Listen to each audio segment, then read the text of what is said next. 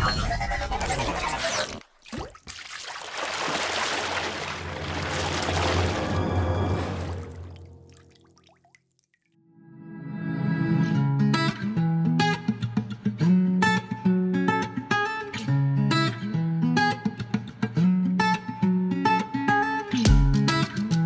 Salom do'stlar, sizlar bilan Uz Android. Bugun biz sizlarga juda ham qiziqarli va kerakli bo'lgan programmalardan yana birini ko'rsatib o'tamiz.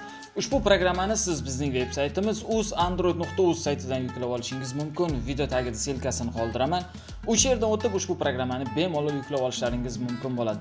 Aziz do'stlar, mana ekranlaringizda ko'rib turganlaringizdek, eh, juda ham chiroyli oboy, ya'ni jivoy oboy Э, mana shu programmani э, telefoningizga o'rnatishingiz mumkin bo'ladi. Juda ham qiziqarli va chiroyli ko'rinishga ega bo'ladi sizning telefoningiz.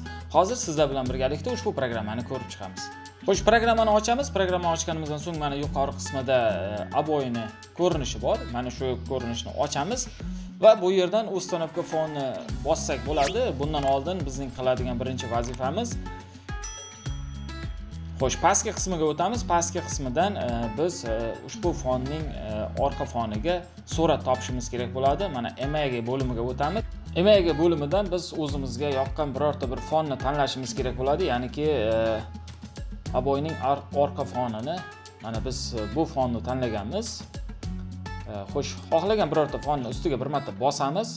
Bir marta bosamiz, bosganimizdan so'ng nazar tugmasini bosish orqali orqaga qaytamiz. Va yuqori qismidan e, biz boya birinchi kirgan joyimizga kirishimiz kerak bo'ladi. Xo'sh aziz do'stlar mana ko'rib turganlaringizdek e, biz tanlagan fon orqa foniga qo'yildi.